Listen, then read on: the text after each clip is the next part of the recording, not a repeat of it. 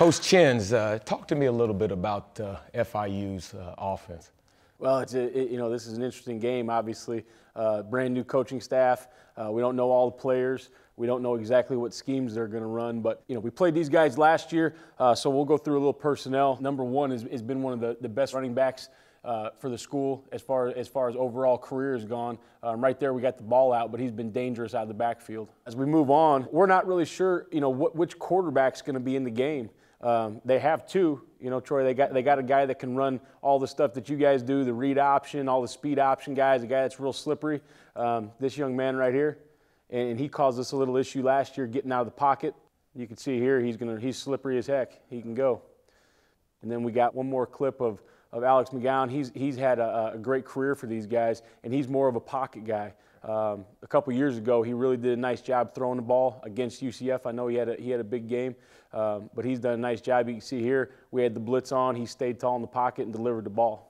So it's going to be a challenge. It's going to be a challenge. We know the personnel a little bit. We don't know the scheme, um, but we know they got some good players that we need to keep under wraps. Talk about how the offense is going to go after these guys on defense. Yeah, just like you said, uh, with a new staff, a new defensive coordinator, and it's going to be a game of adjustments. You know, that first series, they may come out as something that we don't expect, and we have to make adjustments uh, on the sideline, and, and we're ready for that. Personnel wise, uh, up front, they return three out of four starters. You know, they try to create um, chaos, disruption up front. You know, if they can get pressure on the quarterback, they feel like, uh, you know, they're not, you're not going to have time to throw the ball and, and, and they can make things work. You've got 91, Anthony Johnson. Um, he does a good job of, uh, you know, collapsing the pocket. And so up front, they're a formidable, formidable task, and uh, we've got to be ready. Linebacker wise, uh, 52 uh, played inside. He's probably their stud linebacker. Um, little undersized, but he flies around, like you can see in this picture. You know, he flies around.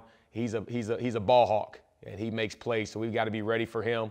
Uh, the other linebacker, number 53, um, is also a good player. Both of these guys, okay, are seniors, so they've been around and they're fast flow linebackers. In the secondary, they return basically their entire secondary. And so they're veteran guys, um, and we've got to be ready for anything they, th- they throw at us. Interesting group on both sides, right? Mo- one of the most experienced team in the country coming back on both sides. Yep, yep. And you know, uh, we got after them last year, and so we're expecting them to remember that and expect, to, expect for them to get after us, and, and, uh, and we know that they remembered what we did.